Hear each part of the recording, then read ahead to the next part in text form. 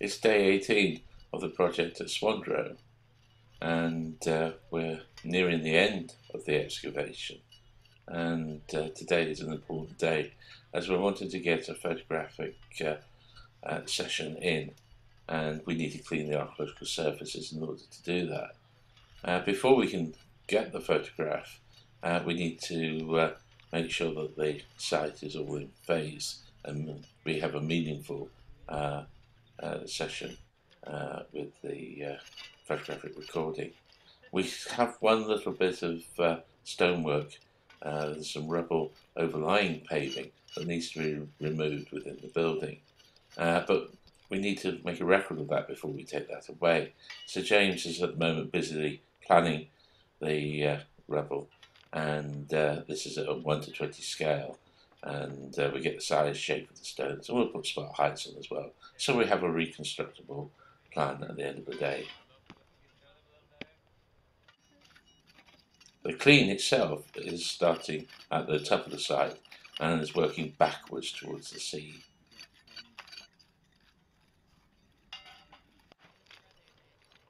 James has now finished the plan and uh, Jane Downes from Orkney College is taking away the uh, surplus uh, stonework.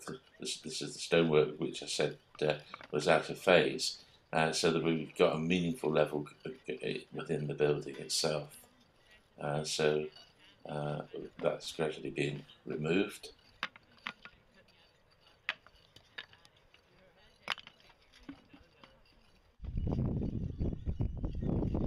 The clean is now progressing very well. We're towards the lower end of the site.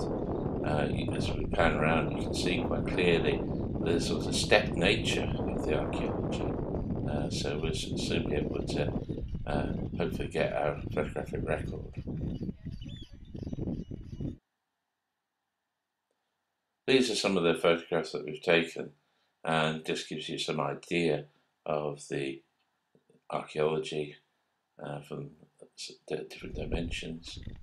This is the archaeology in the upper part of the site. This is the landward trench, uh, which uh, shows this massive uh, arc of stonework, uh, which is possibly part of a Broch wall, and links with the arc of stonework that we found on the beach section.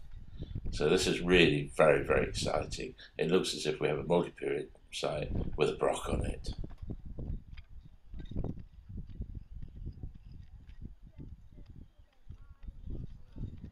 We've also been able to link the archaeology through to the beach section and this is what it looks like uh, within the photograph.